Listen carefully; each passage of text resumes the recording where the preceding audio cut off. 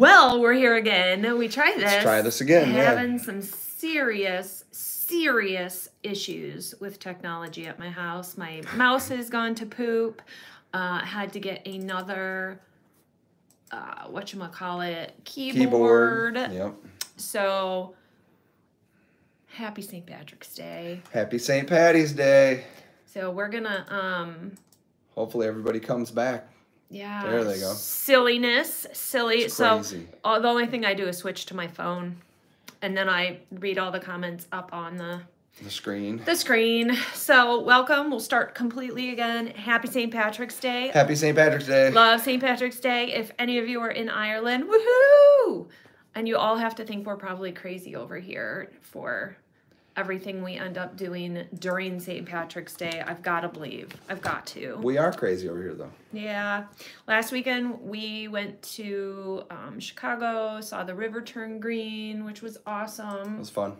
So uh, it was a beautiful weekend. I'm Kari the Mortician. This is my boyfriend Josh, who also is a certified crematory operator, 27 years doing burial, Burial vault installation. And I've had some of you kind of not yell at me, but say, why do you always say burial vault? It's not like everybody can afford burial vaults and use them.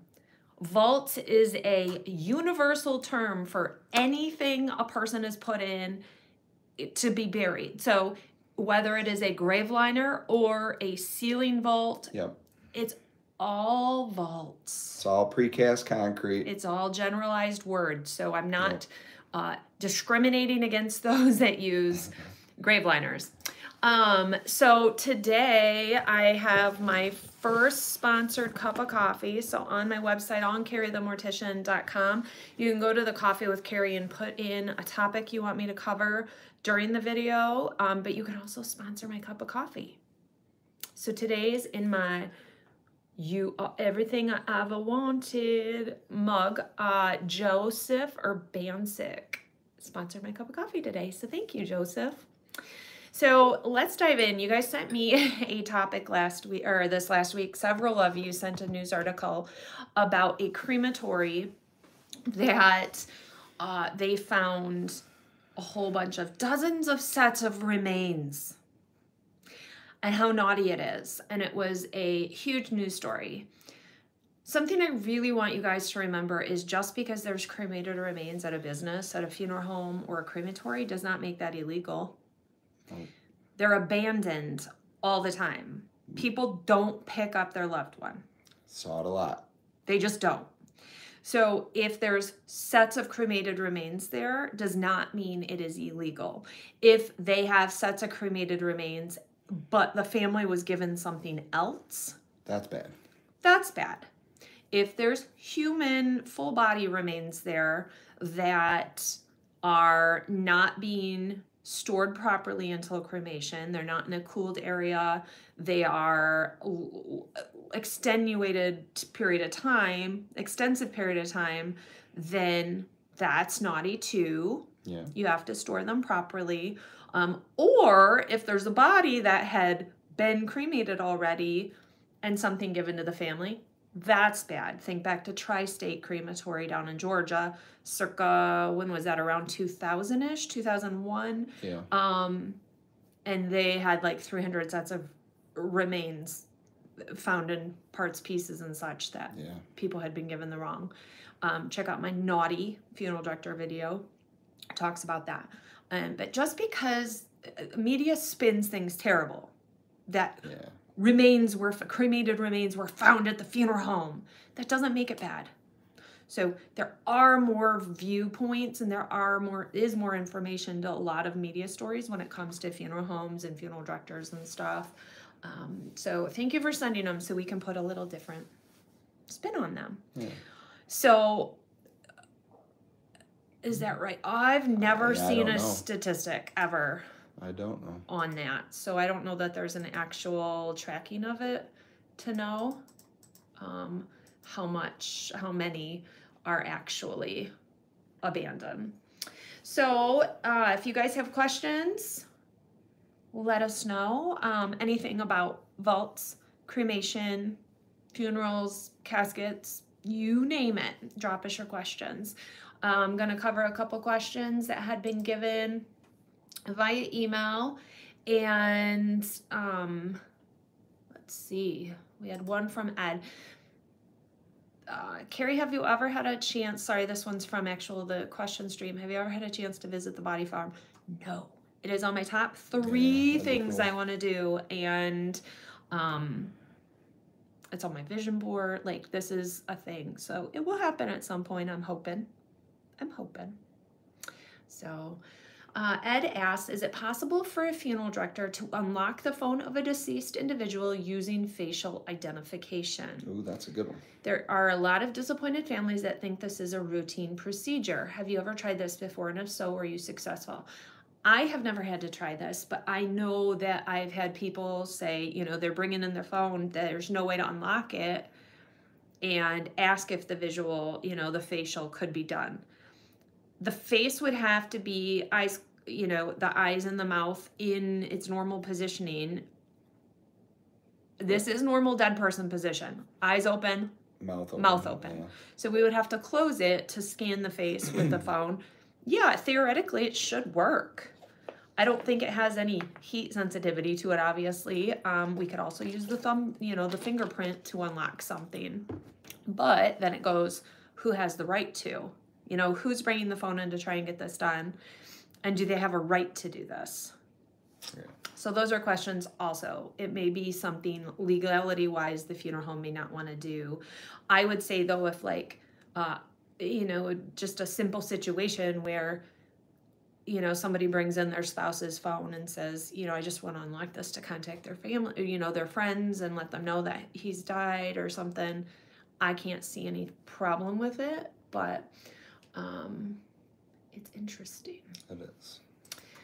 uh, I was on a podcast called The Domino Effect of Murder a while back. Um, Jan Canty is the um, Dr. Jan Canty is who hosts that podcast, and she reached out just to let me know she has a new book out to tell you guys. Um, it's called What Now: Navigating the Aftermath of Homicide and Suicide. So for the ver- survivors, uh, it is out now. It is on Amazon. So check that one out the body farm so this is a uh, farm of study essentially that's typically connected to a school where they're studying decomposition and um, rate of death and Big so ones down in Tennessee. yeah uh, down there is kind of the original where dr bass started it and bodies are donated to medical science then they are placed in a varying positions under things in things um, embalmed not embalmed different manners of death to see how that body reacts over certain period of time.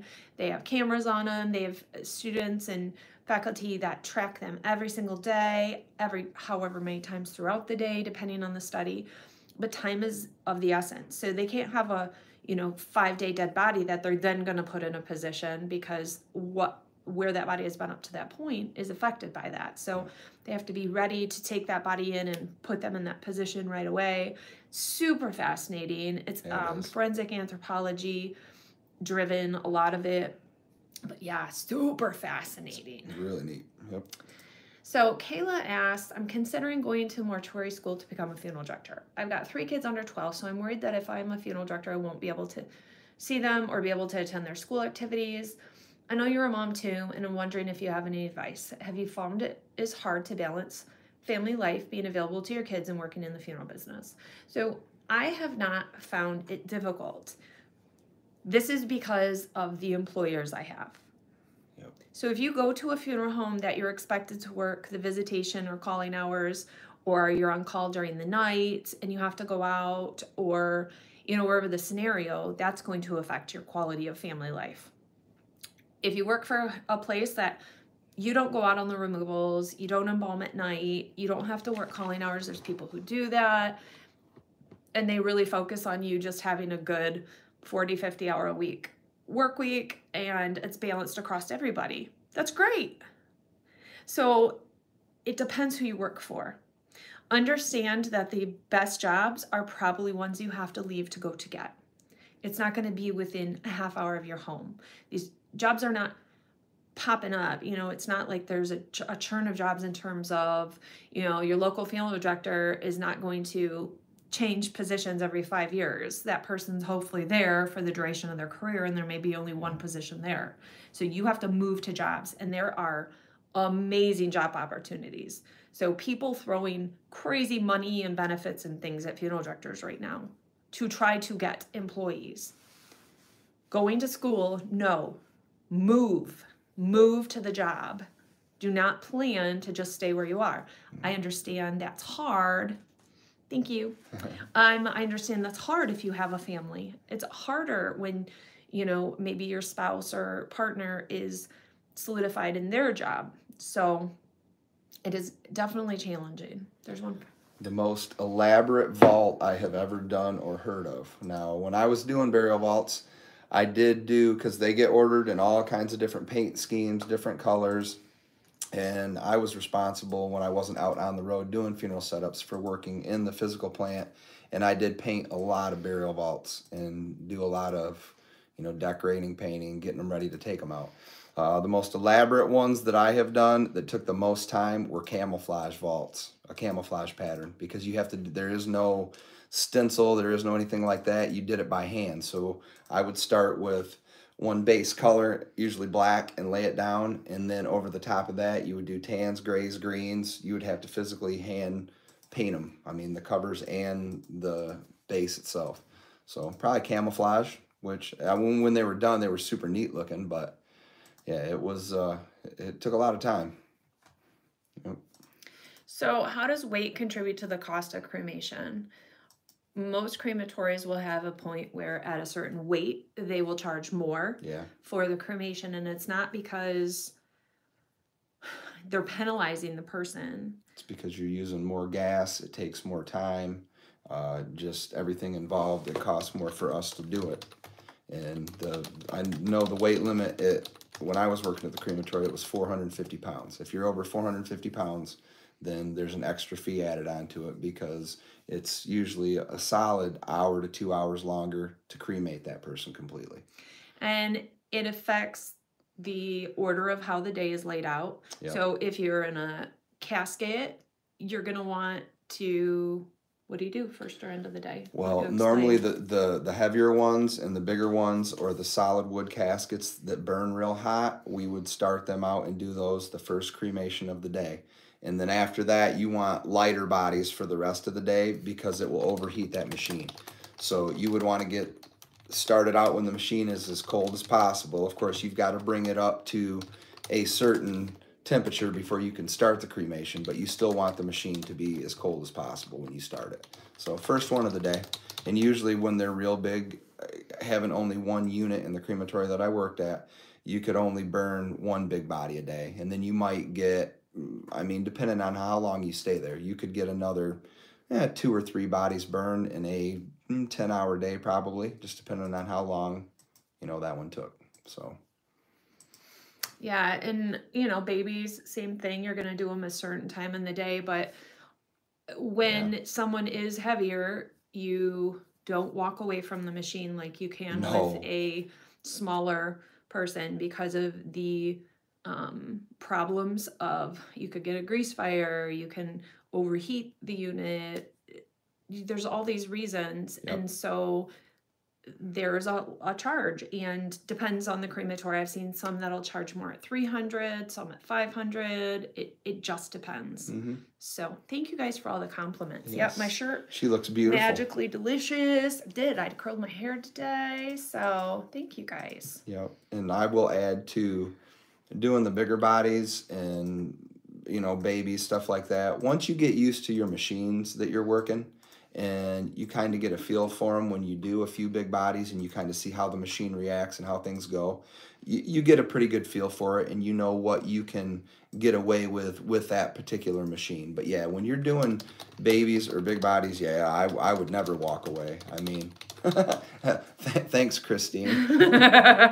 Said I look pretty she too. lives in kalamazoo Oh, okay. yeah um I'm looking pretty rough right now. I got up, and went to the gym, and then came back here and sat down with Kari. So Um, I claimed the cremains of my friend that were at a funeral home for 13 years. The bill was unpaid, did not have to pay, had to sign a document that I claimed her. That's most people at funeral homes at this point want if they've been if they have sets of cremated remains that have been there a while, they want someone to just take those cremated remains to care for them. If the family's not going to, or you can find some extended family. I mean, I one funeral home I went and worked at um, that was one project I worked on was trying to get the cremated remains into the hands of family and some were from the 50s and 60s so I was tracking down generations and trying to get somebody that would want to care for them because we would rather they be in the hands of someone yeah. and at that point we can't collect money from a bad debt from you know 30 40 years ago it's not always about the money at that point like the money's already done it's gone it's it's getting them into the hands of yeah. a family member what is done with inside organs after death so we don't take we don't take as funeral directors and embalmers we don't take any body parts out we don't take out organs we don't take out um, like the brain or anything. That is done during the autopsy, and then everything is sent with the body to the funeral home. If we're embalming a standard body, non autopsied, we're going to aspirate the cavity, which is the chest, the abdomen, to try and get out. We suck out fluids and things um, that are in there that cause bacteria growth, and that's what decomposes the body. And then we treat it with chemical. That's what we do during embalming with the internal organs. Found in the body farm. Oh, yep, down in Tennessee. I did my fourth removal last weekend with a friend who owns a funeral home. Definitely owe the courage to do it to carry in this channel. That's oh, awesome, nice. Leo. Oh my gosh, that's exciting. Yay. Josh, if you got a 400 pound person and you have to put in a hillside, like doing a burial on the side of a hill, is I'm assuming what you're asking. Yeah, there's when you're doing burials and burial vaults and setups at the graveside there it's it's an art form i mean you just kind of you kind of learn it as you go but yeah there's ways to get down to it and what i would have to do if it's on the side of a hill first i have a lot of blocking. I would have uh, aluminum planks like heavy duty aluminum planks that could handle a lot of weight. And i would use usually i had some aluminum planks for my inboards too but you want to get the board spread out away from that grave hole as far as you can and you'd block it up. And i had a level with me like a small hand level and i would get down and brace it all up real good and level it off. And then i would drive my truck or my they call them a, a vault cart or a vault jenny but it's a motorized trailer with the burial vault on it that i would tow behind my truck. And i would drive that down to the grave and get it close and pull the crane way from that out and set it on those planks make sure everything's solid make sure the weight's going to be distributed evenly. And then I had a hydraulic hoist. When I first started, I had a chain fall for the first few years, and so there was more manual labor to it. But either way, you pick the vault up off the trailer, slide it out over the grave hole where your boards are set up around, and lower it down in. But you know, sometimes if it was on too steep of a hill, yeah, we would have to use a either uh, a boom truck, a four wheel drive, you know, knuckle boom truck, or sometimes the cemeteries would have backhoes, and if you were knew him well enough and in good enough with the sexton that took care of the cemetery, a lot of times he would set the vault for you, and you would do a vault setup off to the side where it was flatter, so the family could still come in, carry the casket in, set it on the lowering device. The lowering device would just be sat on the ground, and I'd have my curtains around it so you couldn't see if there's a grave or not really underneath it. And then after that, you'd have to have either the sexton or somebody else help you you know, load the uh, casket into the burial vault. You'd seal it all at once, and then you'd set it with a backhoe. I mean, there's different ways to do it. Sorry, I was rambling. I got into burial vault mode. he does get excited when he talks about burial vaults. I, I did it for a long time. Um, Sharon says the story about the priest. The court system found him guilty after his death. So part of my Murder at the Funeral Home series, um, one one of them posted yesterday for Dixon Funeral Home, but the previous one that had posted was about the priest in Wisconsin that went in and killed uh, the funeral director and the apprentice, and he ended up um, taking his own life, but uh, Sharon saying that the court system did find him guilty after his death. So thank you. I'll have to go look and find that follow up. I never saw that in researching. Is the casket and vault set level in the ground or with a slope of a hill? Usually they will dig it so it sets level in the ground. So like if you're on a hill, yeah, one end of the grave is going to be a lot higher up than the other end. If you catch my drift, you know, it's at an angle. It's going to be level because you have to set it level, especially if you're going to put a lowering device over the top of it. Because if that burial vault's kicked like this and your lowering device is level on the top, that casket is not going to go into that vault right. You're going to have trouble. So. Kari, have you ever had a Holocaust survivor with tattoo on the forearm that you cared for after death? Hmm. We have had um, people that have had tattoos that were from um, the area at the time. Never said that they were in a concentration camp and released or anything, but definitely um, people who uh, escaped out of Poland and had things happen, and from Germany and um, different areas. Actually, just recently had a family share a very intimate story about stuff that happened to their mom when she was over in that area during that time. But nobody that has specifically said, you know, XYZ. So have had uh, a lot of interesting exposure to people and interesting stories around that time frame over there. Scott says, My sister in law recently passed. Your live chats and videos helped us through the cremation process. We knew what to ask. That's that awesome. makes me so yeah. happy when you guys share these stories. Not that you've had a loss, but that you felt empowered. You felt like you knew what to ask. You felt confident rather than being so scared, not knowing, lost in the process. Like that is what the purpose is, is you just feeling good about what you're going to do because you've thought through things. You know questions to ask. Yeah. You know red flags to look out for. There are naughty funeral directors, but it's not the majority. It's definitely a mi- minority. A, it's a minority, yeah. Um, so it'd be it's nice to to know that even just a few people are feeling empowered going to do what they need to do. Yeah. So, um, Josh, have you ever had to move any vaults remains due to corrosion on the land from water? Has happened to a few cemeteries in Vermont where things were becoming visible on the embankment. Not here in Michigan. I mean, the only time that I have ever had to do any exhumations or move remove burial vaults have been either for murder investigations where they want them dug back up and in that case i'm not responsible for actually digging them up. That's whoever takes care of the cemetery. But we would show up and they would usually dig down to the top of the burial vault. And then me or me and somebody else i worked with would have to jump down in and you dig around the edge of the burial vault so you can get a sling around it and then you pull it out. Um, murder investigations if somebody wants a, a loved one moved to a different state, because sometimes people will move to different states and they will have their loved one exhumed and moved down to wherever they're at and reburied in a cemetery close to them. Disinterred. Disinterred, yes. Exhumed is for, oh, yeah, we learned sorry. from Sharky, sorry. exhumed is for a legal purpose. Yes. Disinterred is is just cause. just because the family wants, yeah. So.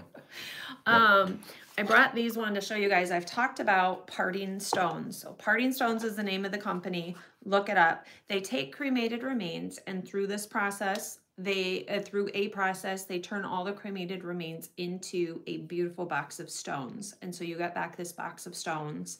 Cool and looking it is a reversible process, which is, I think is the most insane thing that, oh, if you really don't like your stones, you can reverse them back to cremated remains. But so like these are some cremated remains, nondescript, no idea where they came from. It's just a sample that they give so you can kind of show. So would you rather get back this or would you rather get back a stone? And those are super smooth. Yeah, they're yeah, they're they're neat. They're really neat all different shapes, all different sizes. I think this is what I want to do with my dog that we disinterred. yeah. Um, because I just think these are cool. And like I had asked when I interviewed those guys if you know, I throw this in water, is this going to dissolve down? Like, is it going to break apart? And they're like, no, this is what it's going to be forever. So, if you want to cast your loved one into different rivers, different lakes, they are going to be whole. They're not going to disperse out in the water. I kind of like that rather than scattering. It's neat. Yeah. You can see and you know that they're there. So, this is parting stones. Which would you which would you rather have back? Love it. Yeah, I think they're neat. Love it. Yep. Set this back over there. Um, yeah. What else? So after this video, we are going to jump over to the Ick Factor channel because we did, Josh did his DNA. we were sitting at dinner one night and we're like, Could be scary. he's like, I wonder what, you know, like what my ancestry is. And so I was like, well, June ordered up a DNA test. I've, I've, already done mine, but I, I think I know because I've had some fa- older family members that have been big time into genealogy and have tracked, you know, family history at least on one side. But that's just on the one side. So my mom's side, I'm I I know quite a bit. I guess I do on my dad's too. But yeah, it's just gonna be interesting.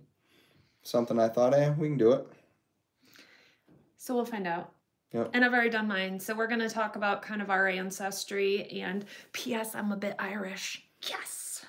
Never realized. Yeah. Um, and just kind of go over that. So I always say, you know, people assume they know where they're from and who they are in terms of, you know, genetically. You might know what your family tree says, but those might not really be your family members. Right. You don't know. So, and I've encountered this happen. with the girl's dad. Um, yep. He did it and um, found a whole family that he was connected to because, you know, it just happens that maybe your pa- parent is not who genetically gave you parts and there may be other people and you may have other family you're connected to and it's quite shocking but it does happen yep. um, so I don't know. It's so we'll to, see. Fun we'll to see look I'm into. shocked or not. Fun to look into. So, any last questions, you guys, on this happy St. Patrick's Day where it's raining and dreary here? But uh, once saw YouTube you did. It was a thing they used to carry cremated remains. I forgot the name of it. Hmm.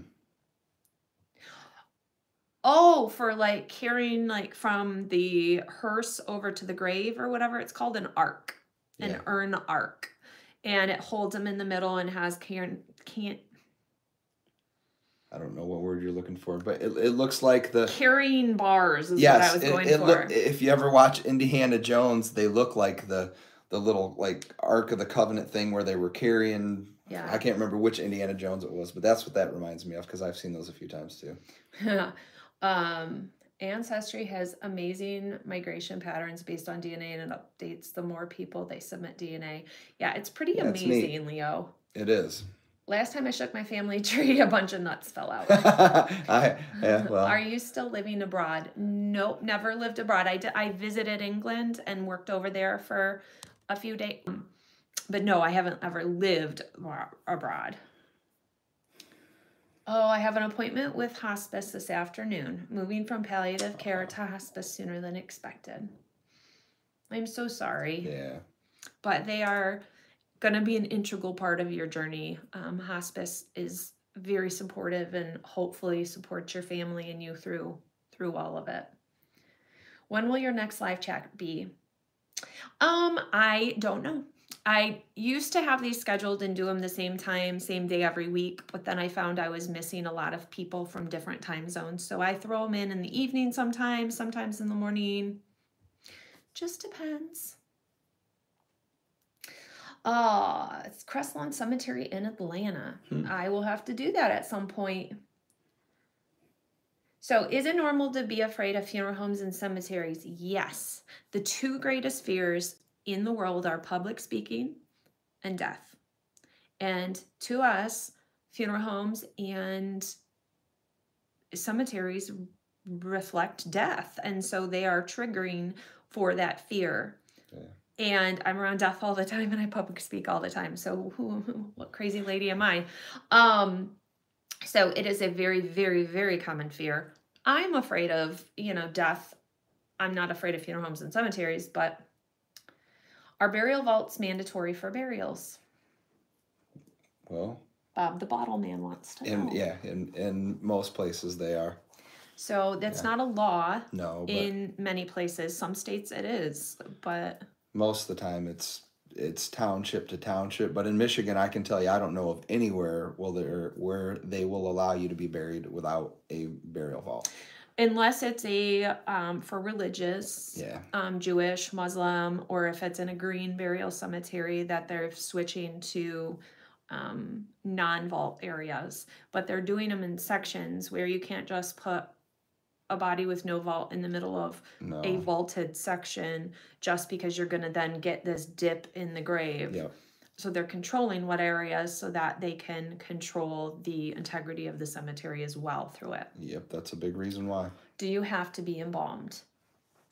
No. It is not a law anywhere that you have to be embalmed. Funeral home may require that you have to be embalmed for a public viewing or if your body's being held for a certain duration of time. In some states, they have law that does say within so many hours you have to either be in a specific temperature regulated space, embalmed, cremated, or buried. So they can dictate some of that, and that is in law some places, but there is no one law anywhere that says you have to be embalmed. But yes, it might be a requirement of the funeral home, or if a certain period of time is, is passing. Um, we are actually going on a road trip. yep. Um, the fam here is our little blended, non official. Um, Josh, me, and all of our kids are going to be headed down to the Blue Ridge Mountains um, in a couple of weeks. And so Well- really excited about that. Um, We'll be down in northeast Georgia. Yep. yeah. And then, and so I don't know if we're going to do videos down there. We may look into some different cemeteries and things and may do a couple videos. I'm sure we'll do a live video from down there or something too. I don't Yep. know yet, Be the same area that Braden and I did our Blue Ridge Witch video on the Ick Factor here last year. Yep. So we're excited about that. Okay, Raphael, I love talking about this question, so I will answer it for you, and that'll be my last question. I'm concerned about drinking water. Don't embalming fluid leak after burial? So, um, I've gone to a water treatment facility because blood and all of it goes down the drain at the at the funeral home. So I wondered how much is the water source infiltrated by the chemicals. And in parts per trillion, embalming chemicals aren't found. But you know what's found? Household cleaner chemicals, hormones, medication that everybody's on. That is what is left in the water after treatment because they are so strong The water won't break them down. they can't break them down by their Yeah. processes. So that is what is there. So a body that's in a casket in a vault under the ground, I am not concerned about even a little bit that they're leaching into the water, leaching into the water table because what you are putting in the water in your personal home is doing far more damage than that body in the ground in my opinion Yep. and from the state the data that I have been shown from the water treatment places. Pesticides and fertilizers and All of that. Yep. So, yeah, I would be more concerned about changing your own habits maybe. Um Oh man, I said I wasn't going to answer more. So, Becky, you are bringing great questions. My friend used her husband's cremated remains to do a tattoo. These are going to be ejected from her body. that's what I was just thinking when I saw that. So, cremated remains Yep. Ink is liquid. Cremated remains are granules. Even the smallest particles of cremated remains are still granules. Think about taking your arm and rubbing it on sand and pressing sand into your, your skin. If you then let that go, it's going to heal and your body is forcing that out. Her body is going to force out the cremated remains because it does not want them in because they're grains within her skin. So they're going to be gone. Um, this is a, you know, maybe there's a little bit that may have gone Left, into yeah. her that might be part of his cremated remains, but more than likely they're getting ejected. So it's a beautiful thought, but over time it's it's ejected from your body. Yep. Um, what about my book, Kari? Dang it, James. You know, I would like to to focus on that here at some point. I'm I'm getting there. I'm getting there. It's it's taking and putting things in its place right now in my world and finding my time. And um, I had some big things coming up uh, that I finally just got done, which feels really good. I got up most days between four and four thirty the last two weeks just to get a bunch of projects done and turned in. And so I'm Kari's feeling. super busy all the time. I've been really cranky because I've been really tired and No feeling, comment. feeling really stressed, but um, got them done. Yes. Got there, got there. Proud of you. So looking forward to our trip. Um, We do have a meet and greet this weekend in Mount Pleasant, Michigan. So if you want to join from two to four on Saturday at a crematory up there, we're gonna be doing a meet and greet and um, crematory tour. If you'd like to join, email me at kari at karithemortician.com. I'll give you all the details. Um, thanks, guys. Thank and you. thanks to Josh for joining. I'm glad we were Yeah. hanging out today Thanks for having so me. So we could do this. But thanks everyone. Have a great weekend. Happy St. Patrick's Day. Happy St. Patty's Day. Join us over at the Ick Factor while we do um, some DNA stuff. So, bye guys.